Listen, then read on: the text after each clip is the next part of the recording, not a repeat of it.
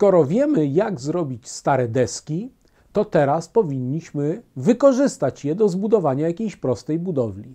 I taką budowlą niech będzie prosta szopa wiata z desek. Wiata z desek, bez drzwi, tylko same ściany i dach.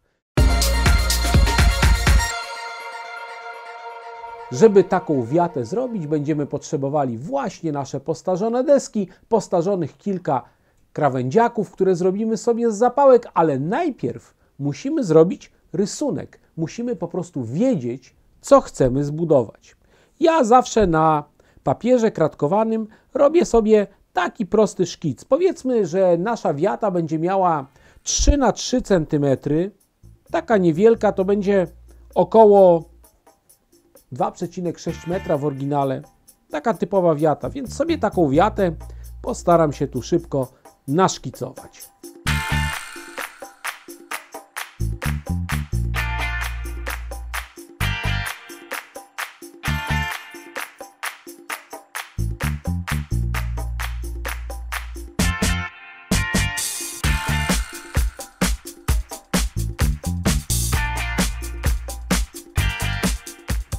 Rysunek gotowy. To bardzo ważne, żeby narysować sobie w skali 1 do 87 to, co chcemy zbudować, żeby nie improwizować, nie docinać czegoś przypadkowego. To, jak widzicie, może być prosty szkic. Prosty szkic, ale na kratkowanym papierze, tak żeby było widać od razu wszystkie wymiary. Będzie naprawdę łatwiej. To oczywiście też jedna z, jedna z rzeczy, którą podpatrzyłem u Marcela.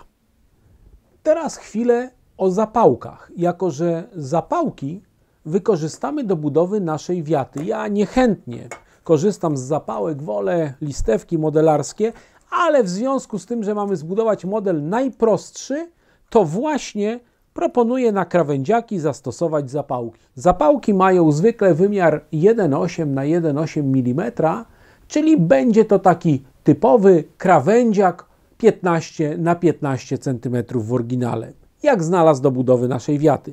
Dlaczego nie lubię stosować zapałek? Bo zapałki często nie są w przekroju poprzecznym kwadratowe. One są rąbem i dlatego jako krawędziaki mogą wyglądać źle. Wolę listewki modelarskie, ale tu wyjątkowo zastosujemy zapałki, żeby zrobić naszą wiatę z materiału jak najprostszego, jak najłatwiejszym sposobem. Wybieramy te zapałki, które mają rzeczywiście w przekroju kwadrat.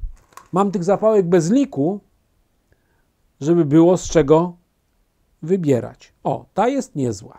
I jeżeli już wyselekcjonujemy takie zapałki kwadratowe, ta też może być, to wówczas zwykłym skalpelem, którego zawsze używamy, odcinamy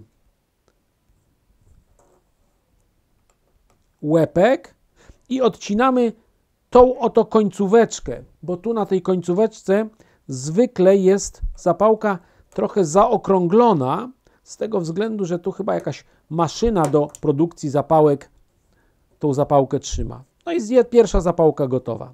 To samo robimy z kolejną. Zapałek musimy przygotować przynajmniej kilkanaście, bo kilkanaście krawędziaków będzie nam potrzeba. No to szukamy dalej.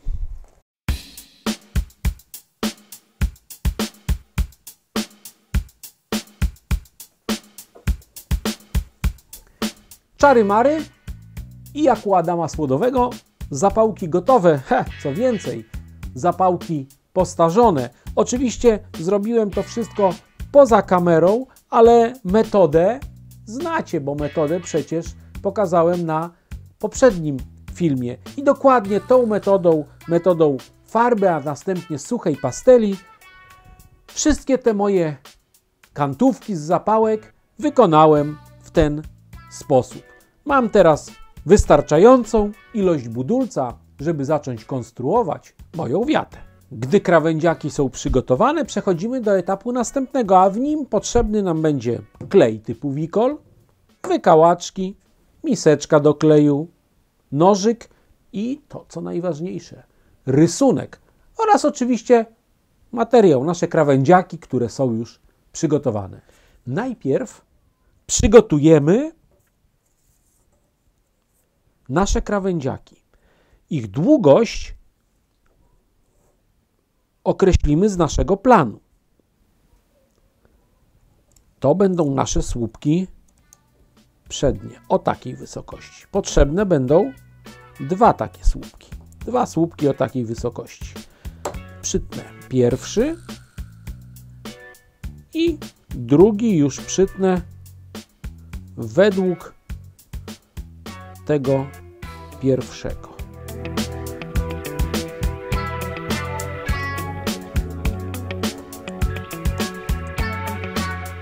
Teraz słupki tylne. Słupki tylne przycięte. Teraz przygotuję boczne krawędziaki.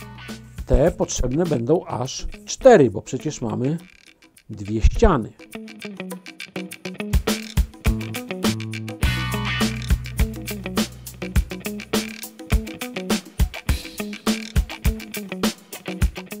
Belka główna z przodu i z tyłu. Materiał w zasadzie jest. Czyli teraz możemy przystąpić do wstępnego montażu. Mając dwie belki główne i cztery słupki, dwa dłuższe i dwa krótsze, możemy skleić dwa takie rygle, które za chwilę skleimy. Odrobinę kleju typu Wikol. Ta podkładka ułatwia mi ładne, zgodne z wymiarem ustawienie moich elementów. Nie za dużo kleju. I na chwilę trzeba to pozostawić do wyschnięcia. Przypominam, modelarstwo to sztuka cierpliwości. Nie róbmy nic za szybko, bo za chwilę by się nam to wszystko rozpadło. Chwila przerwy, choćby na herbatę. Elementy sobie schną, a my sięgamy do naszego planu, bo przecież przygotować musimy jeszcze tutaj z przodu takie dwa zastrzały, takie, które musimy wkleić. To zaraz je zrobimy i u dołu w tylnej ramie jeszcze musimy taką belkę dolną również przygotować. To właśnie zróbmy to teraz, nim nasze ramy wyschną. Tu z tych ogrysków, z tych obcinków znalazłem takie dwa, które znakomicie nadają się do tego, aby zrobić z nich właśnie te zastrzały. Przycinam ich końce pod kątem około 45 stopni. Jeden koniec i drugi koniec. Teraz przymierzam. Korzystam, skorzystam z pincety, będzie mi łatwiej. O, bardzo dobrze, pasuje. Teraz, teraz drugi.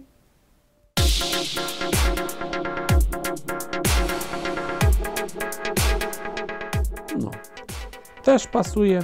Oczywiście, gdyby nie pasowało to dobrze, to zawsze małym pilniczkiem, iglakiem możemy to sobie jeszcze leciutko doszlifować. Ale ma to być prowizoryczna konstrukcja, prowizoryczna wiata, więc nawet jak będą tu pewne niewielkie niedokładności, to one tylko nadadzą jej bardziej realistycznego charakteru. Wklejamy. I znowu odrobinkę kleju na jedną stronę, na drugą stronę.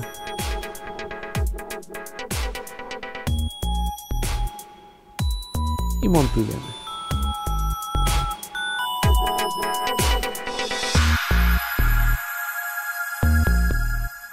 I teraz tutaj tą dolną belkę jeszcze przygotujemy.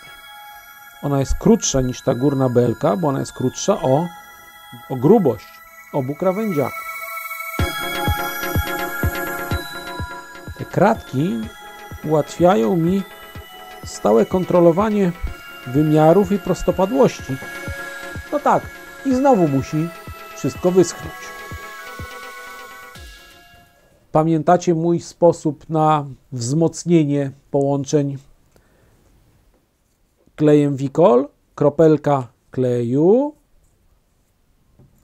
trochę wody, Nabieram wykałaczką, kropelka wody, tak. I to mleczko zapuszczam w miejsca połączeń delikatnie, żeby nie spaskudzić tego, co zrobiłem pastelami.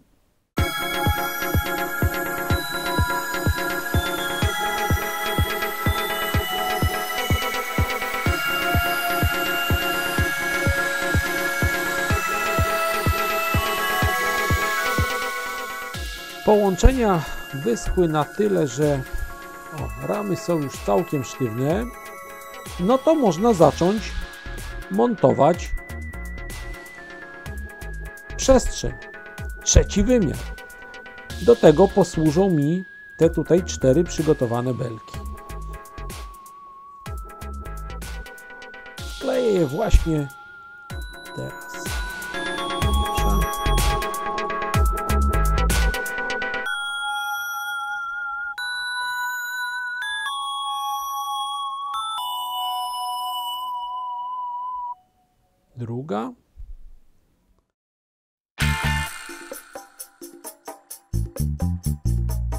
Pozostaje teraz nałożyć drugą ramę. Powinno pasować. To co? Smarujemy klejem. Poprawimy za chwilę położenie tych peleczek.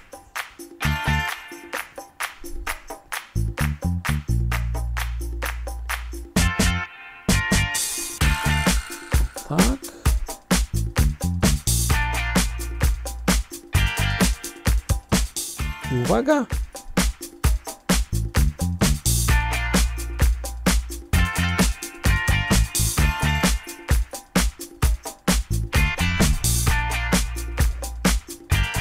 No i znowu rzadkim wikolem niektóre połączenia, te ważniejsze, po prostu wzmocnię, zapuszczając bardzo rzadki wikolot. Mam troszkę nadmiaru tego kleju. Na to przyjdzie jeszcze deskowanie, więc spokojnie wszystkie ślady kleju zostaną, zostaną zakryte. No ale rama już, jakby nie patrząc, jest. Herbata wypita, a tymczasem nasza konstrukcja związała.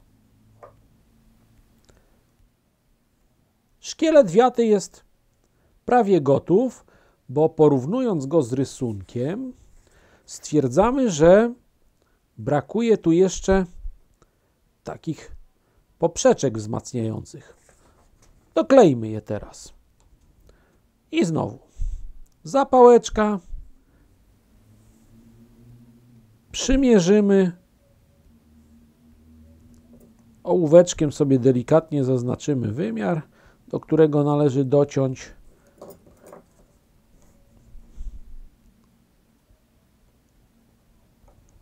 dotniemy, jeszcze raz przymierzymy. Za długie, ale na tyle troszeczkę, że spiłuję to troszeczkę pilnikiem, iglakiem. Nie będę już ciął, żeby nie przedobrzyć. O, i sprawdzę, czy teraz wchodzi. Odrobinę świeżego kleju. Technologia, jak widzicie, cały czas ta sama trochę kleju. Tu weźmiemy klej troszeczkę rzadszy, po to, żeby on dobrze wypełnił nam szczelinkę pomiędzy tymi belkami i wklejamy.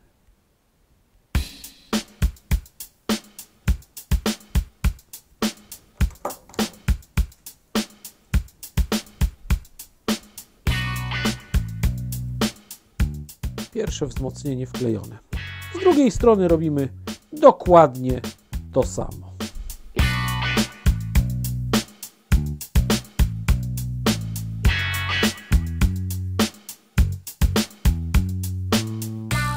Boczne wzmocnienia już są. Co prawda nie ma tego na rysunku, ale może by takie same wzmocnienie dać i z tyłu.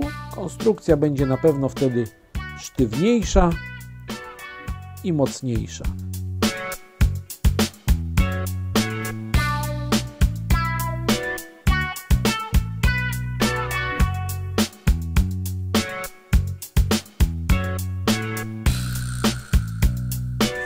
Pora na dach.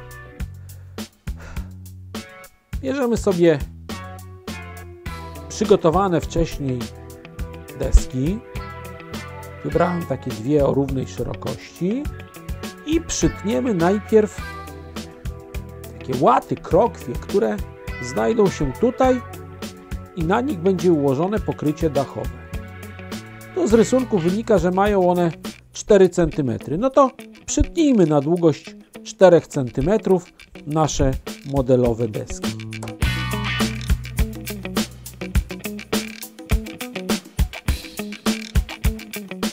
Sprawdzamy, czy są równe.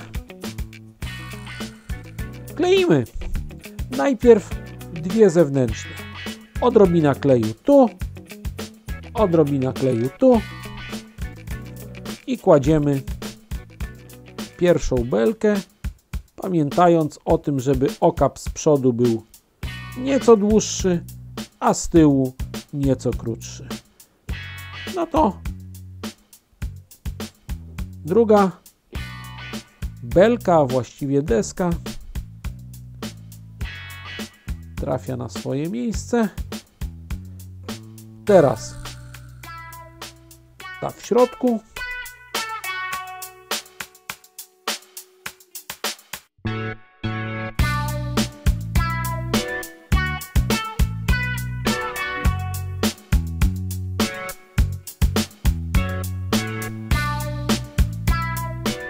Oczywiście te belki stabilizuje również wypełniając tu z boku przestrzenie bardzo rzadkim rozcieńczonym klejem, bo przecież nie mogą mi się poprzewracać, jak będę na nie nanosił pokrycie dachowe. Ten klej na pewno zwiąże bardzo, bardzo mocno. Jeszcze odrobina.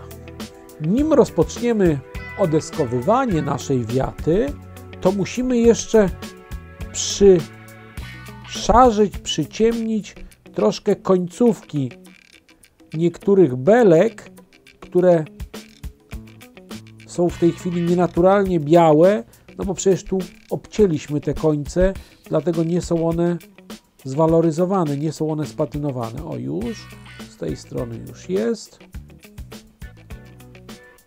Patrzę też, czy gdzieś w miejscu klejenia klej nie pozostawił mi takich śladów, które by trzeba było spatynować, ale raczej nie, to jest wszystko po wewnętrznej stronie. No dobrze, to bierzemy się za deskowanie. Desek mam całe mnóstwo, no bo przecież desek naprodukowaliśmy, ucząc się robić stare drewno. Teraz właśnie skorzystam z tych desek i najpierw zadeskuję tylną ścianę. Dlaczego tylną? No bo tu wszystkie deski będą równe. Tu zostawimy u góry małą przestrzeń, to nic nie szkodzi, a resztę desek przytniemy na jeden wymiar. Na jaki? O, na taki. A zatem pierwsza deska ciach, budynek, obiekt odstawię, żeby tu nam nie przeszkadzał. I teraz jadę równo według jednego wzorca pozostałe, pozostałe deski.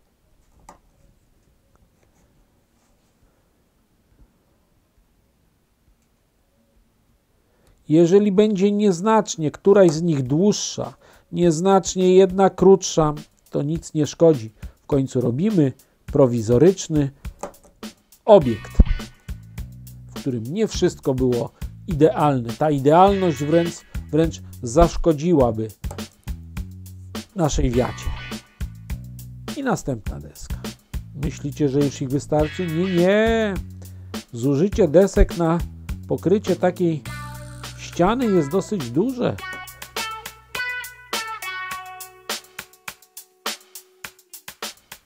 No, teraz powinno wystarczyć. Może jeszcze jedną deskę dotniemy. To cóż, kleimy. Oczywiście klej wikolowy, wykałaczka, smarujemy i przyklejamy.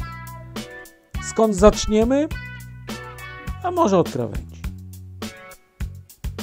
Pierwszą deskę nieco wypuścimy poza krawędź, po to, żeby to deskowanie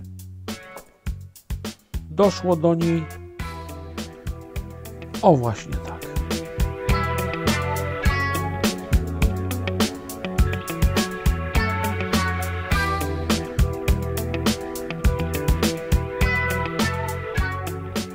Możemy zostawić niewielkie przerwy między deskami, jeżeli chcemy, żeby nasza wiata była przewiewna.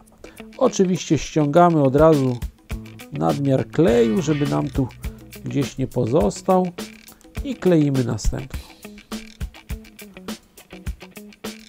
Ja postaram się ułożyć te deski w miarę ściśle, choć nie będę dbał o to, żeby nie było między nimi szczeli.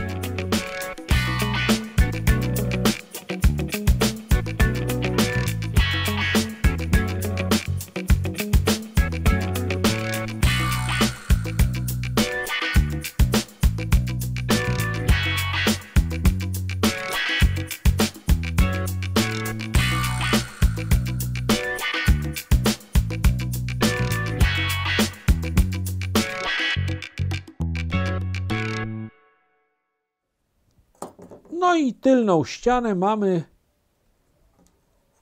odeskowaną. Jak widać, deski były wybierane przypadkowo i dlatego ich kolor jest również zróżnicowany, o co nam chodziło. Ze ścianami bocznymi nie będzie tak łatwo, bo każda deska będzie musiała mieć inną długość. Zatem będziemy każdą deskę docinali, doklejali, docinali, doklejali. No to niestety potrwa trochę dłużej.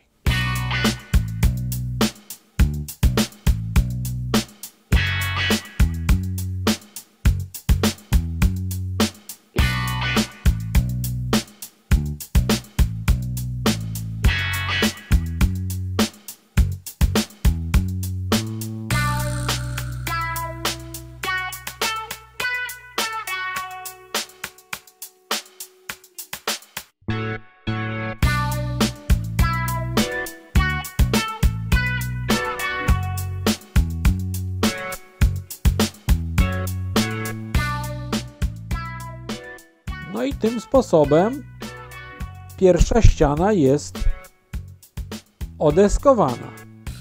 Trwało to trochę, no bo i desek nakleiliśmy sporo. Gotowa jest ściana tylna i gotowa jest jedna ze ścian bocznych. To nie czekając na nic, bierzemy się za ścianę drugą drugą boczną. Technologia dokładnie ta sama.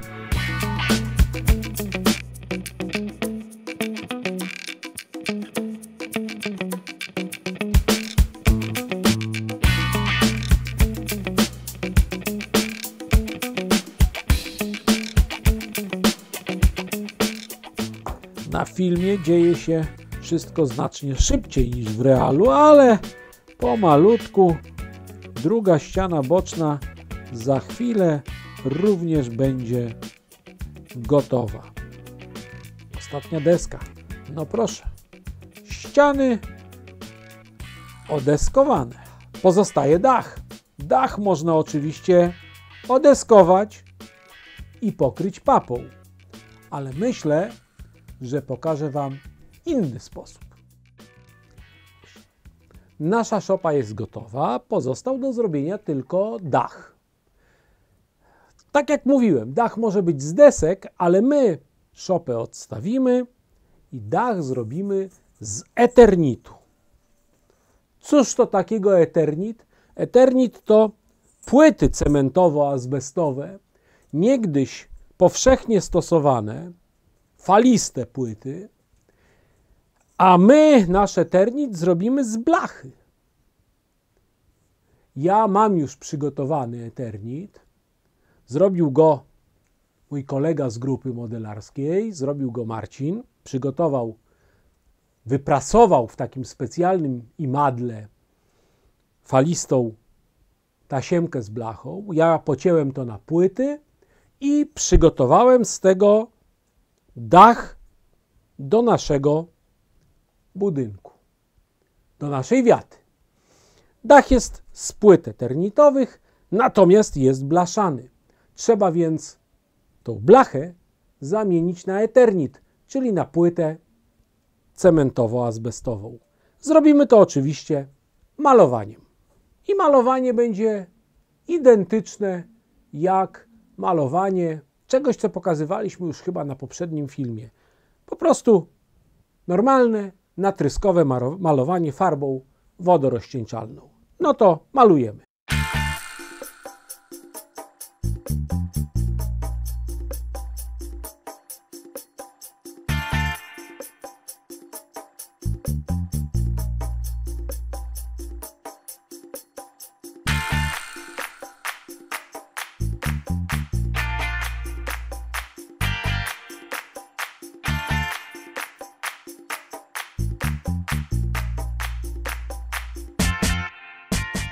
Trzeba będzie jeszcze pomalować po raz drugi, ale dach musimy pomalować też z drugiej strony, bo przecież w wiacie widoczny będzie on zarówno od wewnątrz, jak i od zewnątrz.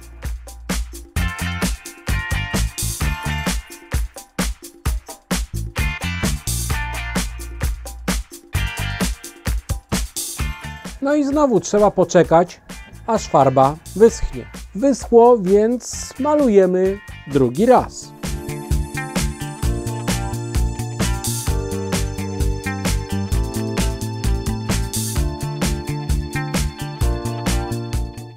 Farba wyschła, a zatem musimy nasz eternitowy dach zwaloryzować. Z czego użyjemy? Oczywiście użyjemy suchych pasteli. Trochę czarnej, trochę szarej, może trochę brązowej. Zaczniemy od strony wewnętrznej, bo do tej strony po naklejeniu dachu po prostu nie będziemy już mieli dostępu. Myślę, że nałożymy tę pastelę sposobem na mokro. Nałożę tę pastelę o właśnie w ten sposób. Może teraz trochę szarej napruszę na to. Waloryzacja pastelami jest bardzo podobna do tej, którą pokazywałem przy waloryzacji budynku.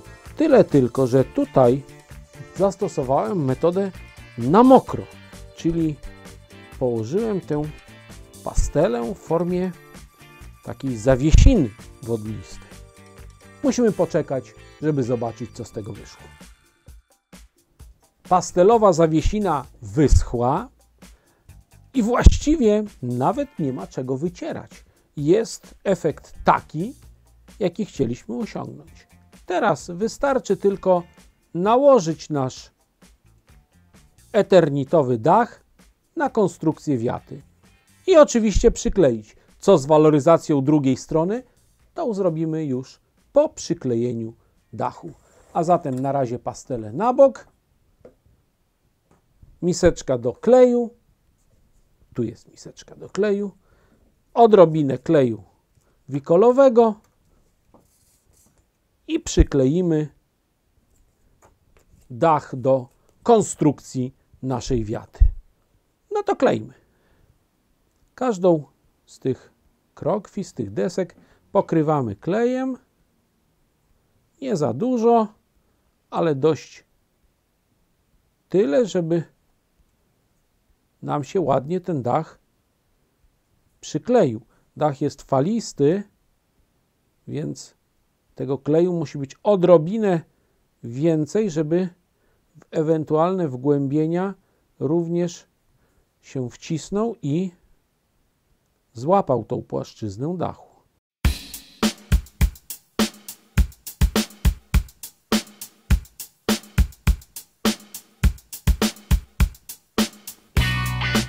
No i teraz równiutko nakładamy.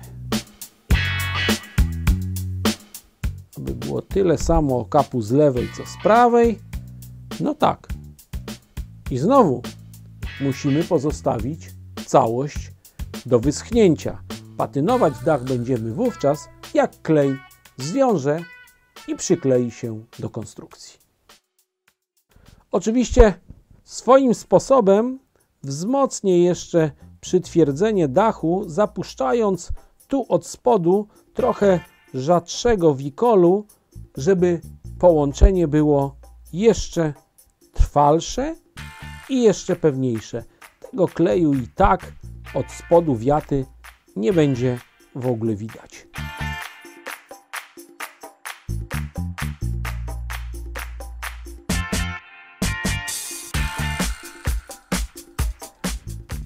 Klej wyschł, dach przyklejony, a zatem musimy się wziąć za waloryzację od góry, od tej strony, którą będzie normalnie widać. Metoda ta sama. Sucha pastela, czarna, naniesiemy ją na mokro. Potem jak trzeba troszkę zetrzemy i zobaczymy jaki efekt uda nam się osiągnąć. Dach pokrywam mięciutkim pędzlem, tak żeby wprowadzić tą suchą pastelę we wszystkie wgłębienia mojego eternitu, bo przecież z reguły brud osadza się na tym, co niżej, a nie co wyżej.